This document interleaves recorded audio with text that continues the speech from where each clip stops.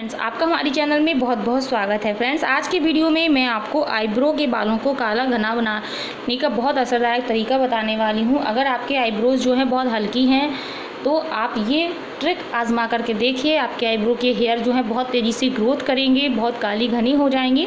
लेकिन friends video शुरू करने से पहले मेरी आपसे रिक्वेस्ट है कि यदि आपने अभी तक हमारी चैनल को सब्सक्राइब नहीं किया है तो इसे सब्सक्राइब कर लीजिए और बगल में दिया गया घंटे का निशान दबाना बिल्कुल ना भूलें।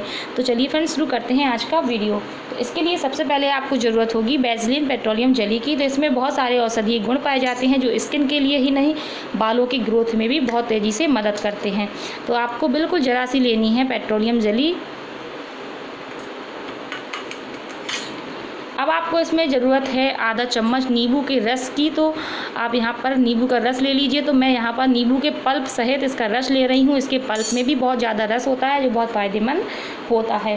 अब आपको इसमें चाहिए होगा बिल्कुल जरा सी दो से तीन बूंद ग्लिसरीन की। ग्लिसरीन जो है बालों, जो आईब्रो के बाल है, उसकी चमक को बढ़ाएगा, जिससे बहुत सुंदर बाल दिखना शुरू हो जाएँगे। अब आपको चम्मच की मदद से इन तीनों चीज़ों को मिला लेना है। तो मैंने इसलिए यहाँ पर नींबू के रस की जगह नींबू का पल्प लिया था ताकि ये जो है अच्छे से मिक्स हो जाएँ तीनों चीज़ें।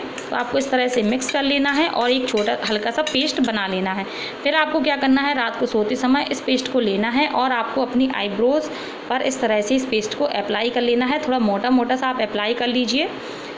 तो अप्लाई होते ही ये जो पेस्ट है, ये मेल्ट हो जाता है। तो आप हल्के हल्के हाथों से इसको मसाज करते हुए अप्लाई कर लें और इसको रात भर के लिए आप लगा छोड़ दें। पूरी रात के लिए आपको लगा छोड़ देना है। ऐसा आपको रोज़ाना हफ़्ते भर तक करना है। हफ़्ते भर तक लगातार आप करिए। आप कुछ ही दिन में फ़र्क देख पाएँगे कि आपके आईब्रोज़ के बाल जो हैं, कितने घने हो गए हैं। बहुत ही सुंदर दिखने लगी है आईब्रोज़ बहुत भरी भरी सी हो गई हैं।